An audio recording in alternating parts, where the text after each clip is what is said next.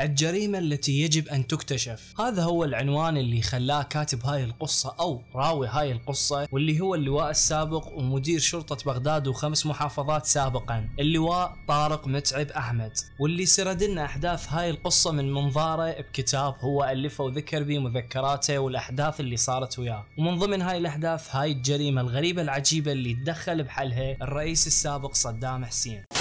السلام عليكم أصدقائي وحياكم الله بفيديو جديد. أنا عبد الخالق. إذا أول مرة تشوفني لا تنسى تضغط على زر الاشتراك حتى تكون واحد من أصدقائي. وكالعادة جهز لي مشروبك المفضل أو كلتك المفضلة وخلينا نبلش.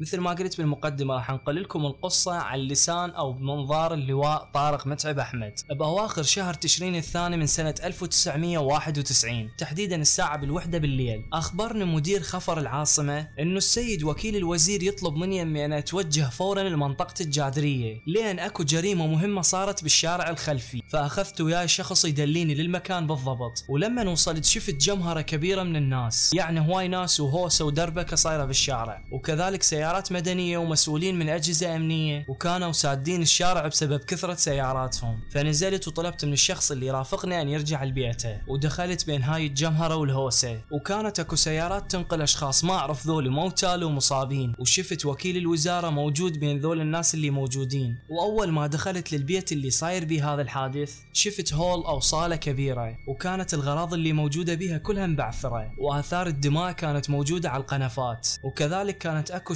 قضايا الإطلاقات وحفر على جدران الصالة فسألت وكيل الوزارة شنو اللي صار؟ فجاوبني بهمس بإذنه وقال لي هذا بيت ابن المسؤول الفلاني الكبير. وهاجموه أشخاص مجهولين بالقنابل والرصاص. وما أعرف غير هالشي وتم نقل المصابين للمستشفى. المهم بعدها حضروا مختصين الأدلة الجنائية حتى يشوفون الآثار والبصمات. لما صارت الساعة بثلاثة بعد منتصف الليل طلعت من المكان ورحت المقر الشرطة. وكنت بوقتها أعتقد أنه هاي الأمور مو إحنا اللي نحقق بيها وإنما دوائر أو مسؤولين أمنيين مدنيين آخرين. لأن هاي الحادثة وهاي الجريمة تتعلق بابن مسؤول لكن خاب ظني لما اتصل بي المدير العام وطلب مني أني أحضر المكان بأسرع وقت. ولما وصلت المكان شفته قاعد وقاعد بصف السيد صاد كاف. وما ذكرت لكم اسمه لأن اللواء نفسه ما ذاكر اسمه بكتابه. وهذا الشخص اللي سماه اللواء صاد كاف هو من أقارب الرئيس السابق صدام. فسلمت عليه وقعدت. هنا مدير الشرطة العام بادرني وقال السيد الرئيس أمر التشكيل فريق بقيادتك وبمرافقة السيد صاد كاف. وكذلك بعض الأشخاص اللي أنت تختارهم حتى تحلون هاي الجريمة. هنا أنا فهمت إنه هاي الجريمة صارت على عاتقي. بعدها سلم السيد صاد كاف على مدير الشرطة وطلعنا أنا وياه. وأول ما طلعنا سألني سيادة اللواء إيش وقت راح نبلش؟ ومن راح يكون باللجنة؟ وين يكون مكان شغلنا؟ فرديت عليه وقلت له نبدأ فورا لكن إذا سمحت لي أريد أسألك سؤال. فريق العمل اللي راح أخليه يشتغل ويانا تريده من الشرطة؟ لو ببالغ غير شيء فقال لي حسب اختيارك سيادة اللواء. فقلت له تمام. وأنا أشوف إنه مقر عملنا أو المكان اللي نشتغل به نخليه بمقر شرطة الجادرية حتى نكون قريبين من مكان الحادث. فرد علي وقال لي على راحتك المهم إنه نوصل لكشف هاي الجريمة لأن السيد الرئيس مهتم بيها جدا جدا. فقلت له مو مشكلة نلتقي بعصر هذا اليوم. بعدها أنا توجهت لمقر شرطة بغداد واستدعيت الأشخاص اللي اختاريتهم حتى يكونون ضمن فريق العمل ومن ضمنهم العقيد ياء والنقيب طاء وكذلك النقيب شين. استدعيته من جهاز مكافحة الإجرام بالكرادة ووياه مجموعة من المفوضين والمنتسبين. بعدها اتصلت بضباط مركز شرطة الجادرية وطلبت من يومهم يفرغون الطابق الأعلى حتى يكون مقر للجنة. أما بالنسبة لهم فيستمر شغلهم بالطابق الأرضي وبالفعل تم إخلاء هذا الطابق وكلنا اجتمعنا وبحضور السيد صاد كاف. وخلينا خطة تفصيلية للكشف عن هاي الجريمة وكذلك خلينا خطوط تحقيقية للجريمة. والمقصود بالخطوط التحقيقية هو الدوافع اللي خلت ذول الأشخاص يرتكبون هاي الجريمة. الجريمة وخلينا ستة دوافع ممكنة. الدافع الأول سياسي الدافع الثاني متعلق بالفلوس الدافع الثالث بعلاقات شخصية والرابع العلاقات الشخصية الخاصة والخامس هو السرقة الاعتيادية والخط السادس والأخير ممكن يظهر أثناء التحقيق. هاي كانت الستة الدوافع اللي توقعناها لنشوء هاي الجريمة أو لحدوث هاي الجريمة. يعني اللي يرتكب هاي الجريمة ما ممكن يطلع من هاي الأسباب. له سبب سياسي له عداء شخصي له علاقات خاصة. أعتقد وصلت لكم الفكرة. بعدها وجهنا فريق العمل الخاص. بينا على خط واحد أو على دافع واحد. يعني ما خلينا كل مجموعة يتوجهون على دافع معين ويحققون به حتى ما نشتت وتضيع علينا الأمور. فبلشنا به ندافع دافع وسبب سبب حتى نعرف ونوصل حل هاي الجريمة. واللي اتضح لنا بعد ما رحنا للمستشفى واستمعنا لأقوال المصابين اللي كانوا موجودين بالحادث اتضح لنا إنه دافع السرقة مستبعد. يعني ما ممكن ذول الأشخاص يسوون هاي الجريمة حتى يسرقون. لأن كل الأشخاص اللي سمعنا من يومهم قالوا إنه هم كانوا سهرانين كالعادة مثل كل ليلة. ولما صارت الساعة 11 قبل منتصف الليل. هجم عليهم شخصين ملثمين ووياهم بنادق كلاشينكوف. وبدأوا بالرمي بكل اتجاه. كذلك ألقوا عليهم رمانة يدوية خلتهم يفقدون الوعي. لكنهم كانوا يسمعون الصراخ من زملاء ذول الملثمين. ووصفوا الشخصين الملثمين بأنهم طوال القامة. وواحد منهم كان لابس قمصلة خفيفة وبنطلون جينز أزرق. وذول الشخصين الملثمين ما حكوا بأي كلمة خلال الحادث. أما المجني عليه فاستمعت لكلامه أنا والسيد صاد كاف وسألته هواية أسئلة عن الحادث فما قال لي غير الأشياء اللي قالوها أصدقائه. فسألته إذا انسرق من مكتبه شيء فقال لي ما انسرق أي شيء من المكتب. بعدها سألته وقلت له تتوقع هاي المسألة سياسية؟ فجاوبني وقال لي نعم لأن ما أعتقد أكو سبب ثاني لهاي الجريمة لأني ما عندي عداء ويا أي شخص. وانطانا أسماء الأشخاص اللي يتعامل وياهم ببغداد والبصرة والسليمانية والعمارة وكان يتعامل وياهم بمجال الدائن والمدين والأمور المالية. وكذلك انطانا أسماء الأشخاص اللي يجون إلى دائما للمكتب وغابوا بوقت الحادث. استنتج فريق العمل أنه الأشخاص اللي قاموا بهاي الجريمة هم أربع أشخاص لأني كلفت بعض الأشخاص يرحون لأصحاب الدور القريبة من المكتب ويسألونهم وعرفوا من خلال بعض الأهالي أنه هم شافوا أربعة أشخاص يم المكتب وشافوهم بنفس الساعة اللي صار بها هذا الحادث وبعضهم كان شالوا وياه سلاح لكن الناس اللي شافوهم ظنوا أن هم من الأمن وأدق وأفضل تفصيل حصلنا عليه وهو من خلال وصف أحد الأهالي لشخص من ذول الأربع أشخاص وقال كان طويل ونحيف ولابس قمصلة خفيفة وبنطلون جينز أزرق وهذا الكلام اللي قاله أحد السكان اللي كانوا ساكنين بالدور المجاورة للمكتب يتطابق تماما ويا كلام الأشخاص المجنى عليهم واللي صار لهم الحادث. كل الاحتمالات والدوافع اللي خليناها ضمن الخطوط التحقيقية كلها كانت واردة لكن اللي فهمناه أو اللي قدرنا نوصل له إنه الدافع لهاي الجريمة هو سبب سياسي مثل ما قال الشخص المجني عليه. لكن واجبنا أن نثبت إنه بقية الآراء أو بقية الدوافع كلها غير صحيحة.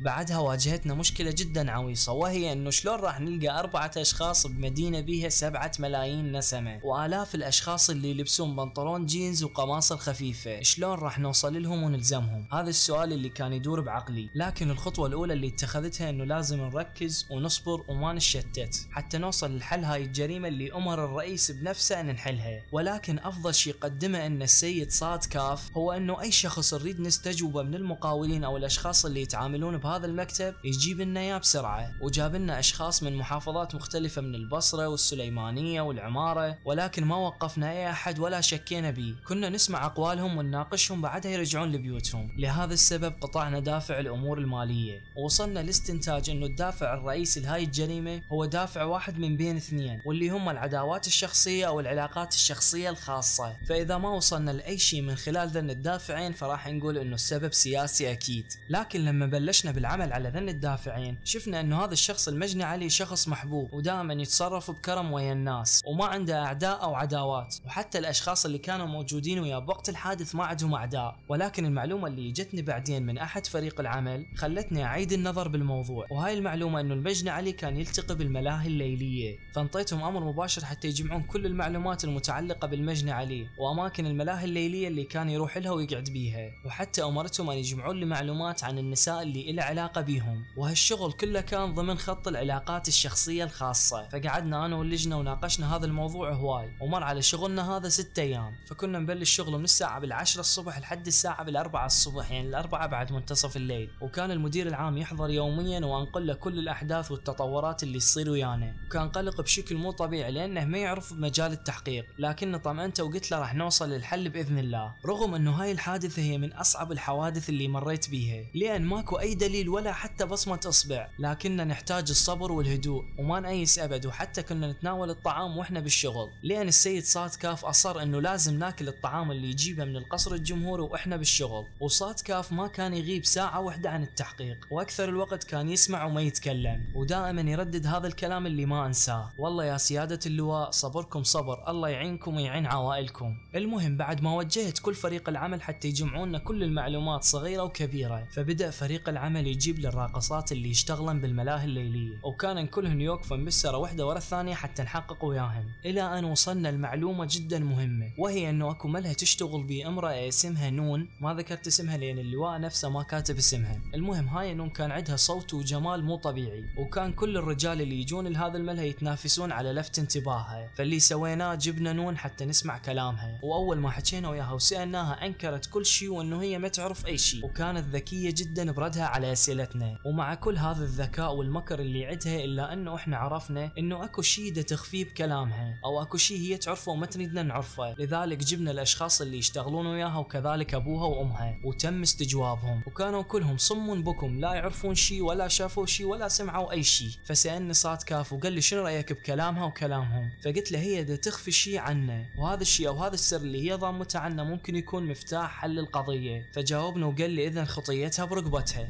لأنها ما تقبل تتكلم أو تحكي بالأشياء اللي تعرفها. فحاولت وياها وحاول كل فريق العمل وانطيناها وعد إنه ما راح يوصلك أي شيء وما راح تتأذين. لكنها ما ثقت بينا وما حكت. ورجعنا استجوبناها بعد عدة ساعات.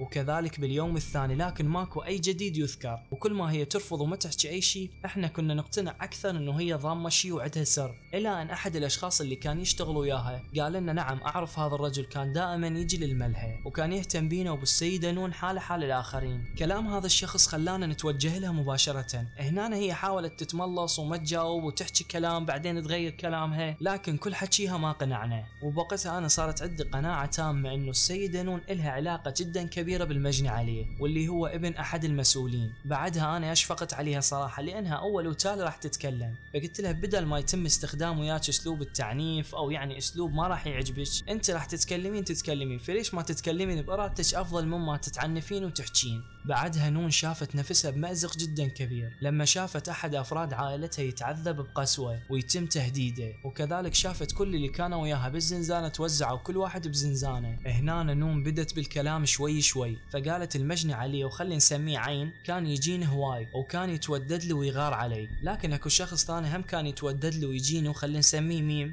المجني عليه عين كان يكره ميم بشكل مو طبيعي. يعني المجني عليه يكره هذا الشخص اللي هم يجي يتودد لها ويتقرب لها ومو بس يكرهها. لا ما يطيق حتى يسمع اسمه. بعد ما قالت هالكلام سكتت وسألناها نعم يا نون كملي كلامك؟ الموضوع خطير وما نريدج تتأذين. ومن تحكين بإرادتك أفضل مما تحكين غصبا عليك وبالقوة. فاحمي نفسك لأن أنت مو طرف بالجريمة. وهسه ارتاحي وفكري بكلامي شوي. الأشخاص اللي كانوا يشتغلون وياها استجوبناهم وسمعنا كلامهم لكن ولا واحد منهم جاب طاري الشخص اللي هو ميم واللي يكره المجني عليه وكأنهم متفقين ويا نون على هذا الترتيب وعلى هذا الكلام. وبعد مرور ساعة رجعت النون وقعدت وياها حتى استجوبها. فقالت لي راح احكي لكن أريد أحكي فقط بحضورك وبحضور السيد صاد كاف. فقلت لها هالشي ما ممكن لأن إحنا لجنة وكلنا ثقة. فقالت والله أبوي وأمي وأقاربي ما لهم أي علاقة بالموضوع وحتى أنا ما إلي أي علاقة. ولكن راح أقول لكم شيء ما أعرف إذا هو مهم لو لا. وصدقوني ما أعرف أي شيء غيره. وكانت هاي المعلومة اللي راح تقولها نون وما تعرف إذا كانت مهمة أو لا هي المفتاح لحل لغز هاي القضية الغريبة.